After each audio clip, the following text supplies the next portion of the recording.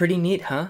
That is from a fan-made Halo game centered around the Flood called Branching Sickness, and it has been in development for a moment now. Everything shown so far has been stunning, and the quality that has gone into this project is clearly visible on every single post. The group working on it happen to be super cool people, and they've given me the all clear to use photos and videos that they have put up on their social media platforms for this video. I am linking everything below. Please, please, emphasis on the please, go show them some support.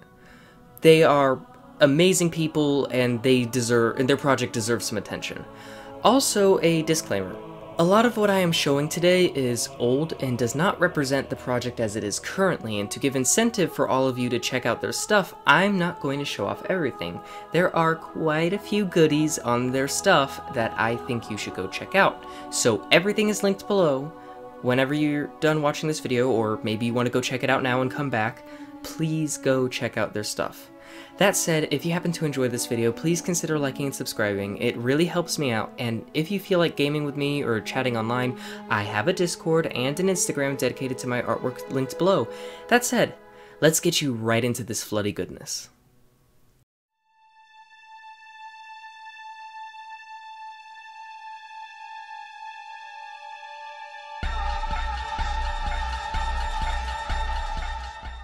Let's start out with the best part, the flood itself, and my god does it look good.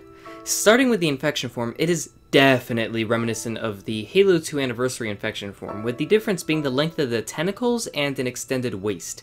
It's clearly got more of a spider-like feel to it, and the sensory nodes are a little less wispy and branch-like, like they are in other games, and more akin to sensory organs that you'd find on gastropods, like snails.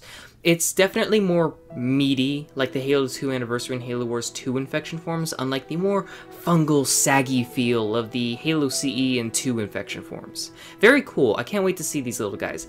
Well, they're not so little when you think about it, ranging from 3 to 4.4 feet in height, give or take. We also have the carrier forms, and this is very much a unique take on the carrier form. Universally in Halo, the carrier form is an amalgamation of biomass collected from the corpses not suitable to become combat forms, or it is made from aged combat forms. There is no bioluminescence, and it's more or less a bulging, heavy skin sac filled with infection forms that are wriggling to get out. Here, the shape of the body is very much the same, however, this combat form, or I should say carrier form, is bioluminescent. With yellow sacs protruding from its body, we also presumably got a sneak peek at the noises it makes when idle. Bear in mind though, this is pretty old and it may have been changed.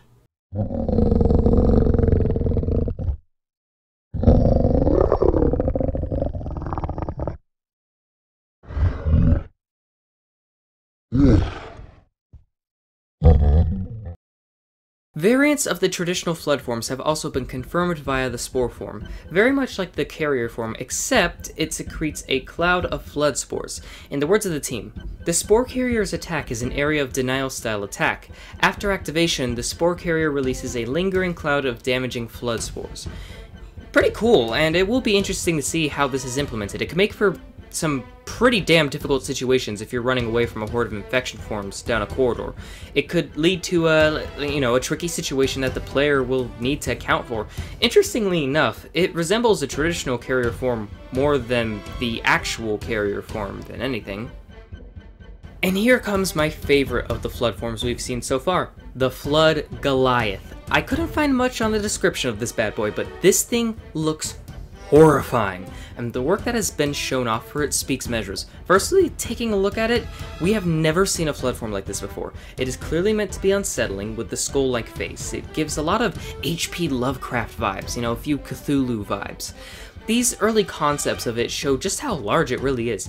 We have also been shown some early animations from a while back. This one is a melee attack, meaning you probably don't want to get too close to it. We also have an animation of a ranged attack, meaning you will have to do more than just keep your distance and shoot. It seems like this is generally a form you're gonna want to avoid when possible. We also have an idle animation and a walking animation. All in all, this thing looks like a behemoth of a flood form that you do not want to mess with. There are definitely other Flood forms as shown by the trailer they dropped earlier, and it's nice to see that the Flood are finally getting some proper love after years of neglect.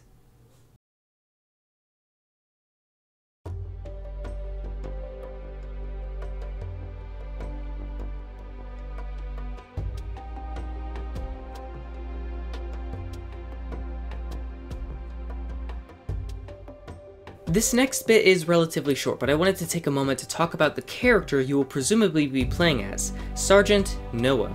The design of the character is definitely interesting, and I am curious to see the story behind him. Looking at his armor, it's interesting in the sense that it takes from a lot of different armors in Halo lore. I can see bits of the Marine battle dress uniform from the early Covenant War Insurrection era, namely in the helmet. I also see bits of the Installation 00 Marine variant from Halo Wars 2, namely the boxy shape of it but I also get some serious Mjolnir vibes. Uh, I doubt Noah is a Spartan, so I'm wondering if this is some sort of makeshift armor or perhaps something experimental. We'll, we'll see.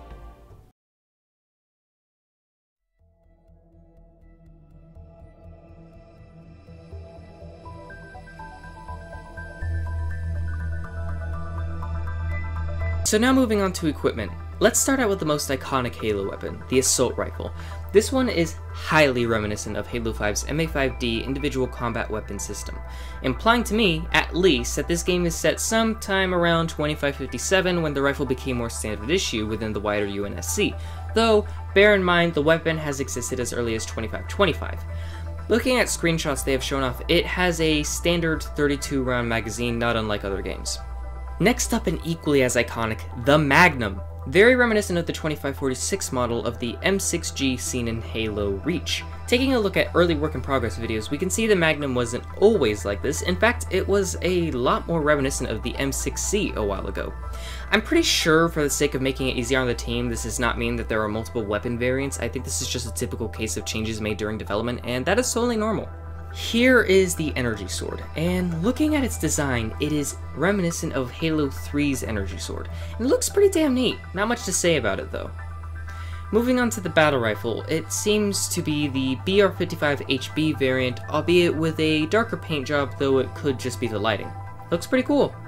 Other firearms are confirmed to be in the game. However, to encourage all of you to check out the Branching Sickness social media, I will leave them out of the video, as well as certain animations that have been shown off.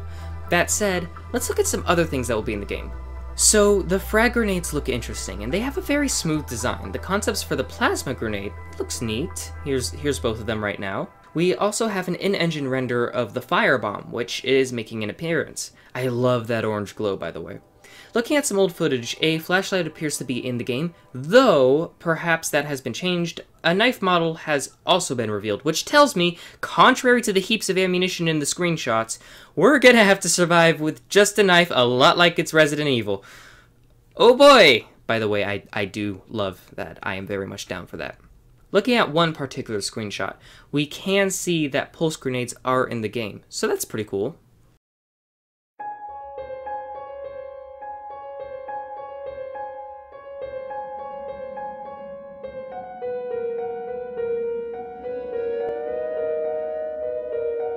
World of branching sickness is an intriguing one indeed. Not much is known about it, however, we have gotten some looks at it through concept art and in-engine renders, as well as some in-game renders.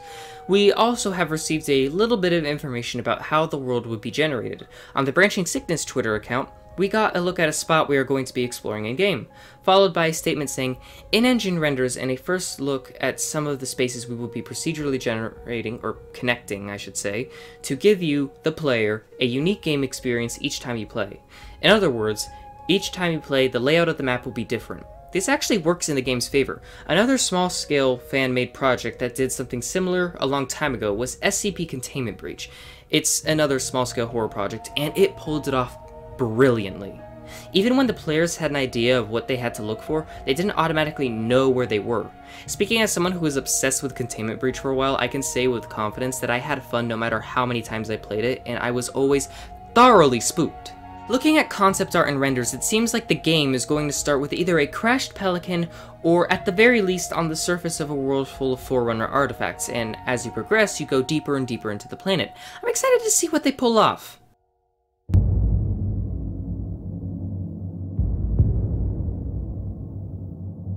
Branching Sickness is a project that I'm going to be following very closely. The team is putting in a lot of time and effort into this project, and it is very clear that their goal is to make the highest quality game that they can, and they are taking their time with it. Originally, on June 10th, they had planned on giving us a gameplay demonstration. However, the team came out stating that they felt the game was not ready to be shown off yet. And you know what? That's a good sign. They're being realistic about the state of the project and recognize what is best for it. They aren't exactly a multi-million dollar AAA making developer, so good on them. I can't wait to see where this project goes. Now, for a Q&A.